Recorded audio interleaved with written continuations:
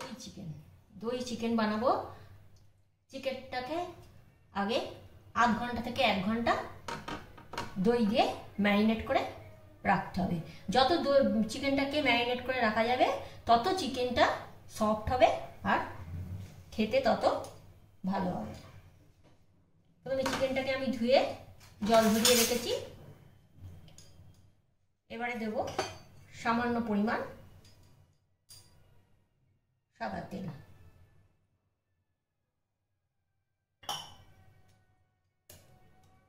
দেব লবণ দেব দেব সামান্য পরিমাণ চিনি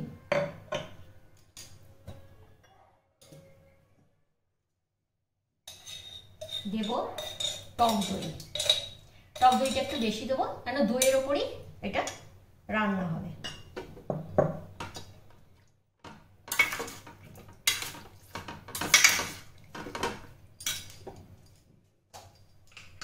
দেব।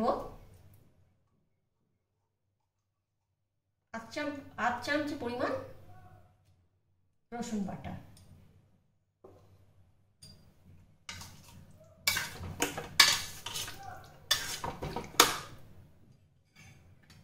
দেব অর্ধেক লেবুর রস।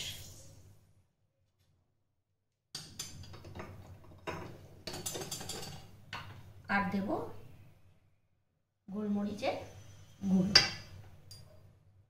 ব্যাস। এই দিয়ে চিকেনটাকে ম্যারিনেট করে আধ ঘণ্টা রেখে দেবো। খুব সহজে এটা ম্যারিনেট করা থাকলেই ব্যাস। এটা ঢাকা দিয়ে আধ ঘণ্টা রাখা থাকবে। চিকেনটা আধ ঘণ্টা ম্যারিনেট হয়ে গেছে। ম্যারিনেট করা। দই দিয়ে চিকেনটাকে ম্যারিনেট করে রেখেছিলাম। এবারে কড়াইতে দেবো ঘি। এই এই রান্নাটা কিন্তু ঘিয়ে হবে। কড়াইতে দেবো ঘি। বড় চামচের, দু চামচের মতো ঘি দেবো।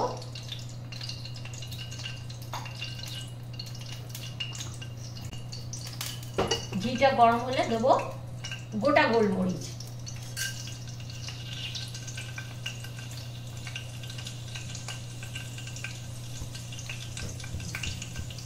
এবার দেব রসুন কুচি।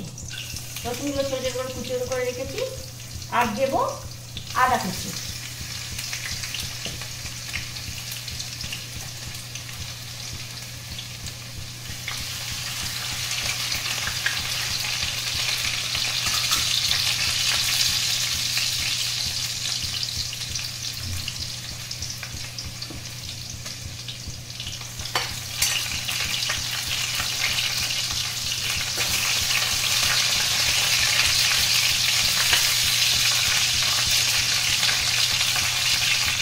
এবার ম্যারিনেট করে রাখা, এর মধ্যে সব কিছুই দেওয়া আছে।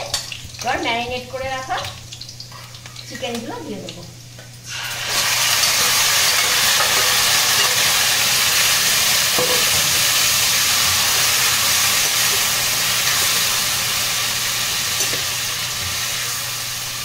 ম্যারিনেট করা চিকেনগুলো যখন কড়াতে দেবো, তখন গ্যাসটা একদম কম করে। কেন, যেহেতু দই, দইটা খুব বেশি আগুনে দিলে মানে গরম কড়াতে দিলে দইটা কেটে যায় হট করে। তারপর আবার বাড়িয়ে দেবো। ম্যারিনেট করা জায়গাটা একটু সামান্য জল দিয়ে ধুয়ে এটার মধ্যে দিয়ে ঢাকা দিয়ে দেবো। ব্যাস। এটা ফুটতে থাক খুব সোজা আমি যত রান্না দেখাই, মোটামুটি সব সোজার মধ্যেই দেখাই।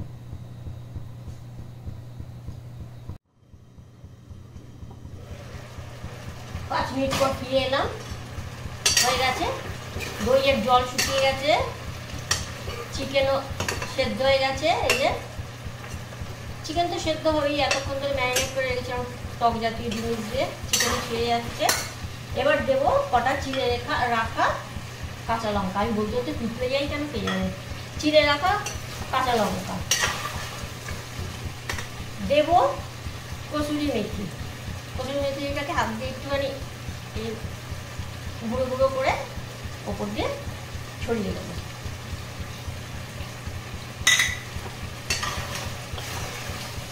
আমার রান্না করতে করতে অভ্যেস হয়ে গেছে, আন্দাজ হয়ে গেছে, অভ্যেস না, আন্দাজ হয়ে গেছে। আমি জানি আমার রান্নাতে নুন ঠিক আছে। তোমরা যারা নতুন রান্না করবে, একটু নুনটা চেখে দেবে এবার দেব এক চামচ মতো অ্যারারুট গোড়া জলে, ঠান্ডা জলে।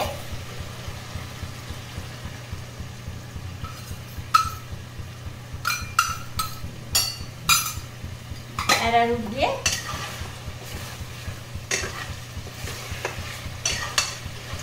দেখো, এই ঘিটা ছেড়ে দিয়েছে।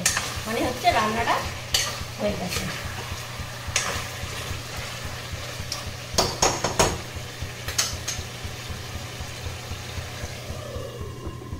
ব্যাস রেডি দই চিকেন নাও। দই চিকেন রেডি ওপর দিয়ে আর একটু গোলমরিচ ছড়িয়ে দিয়ে ব্যাস। রাধো খাও খেয়ে আমাকে কমেন্ট করে জানাও। কেমন লাগল?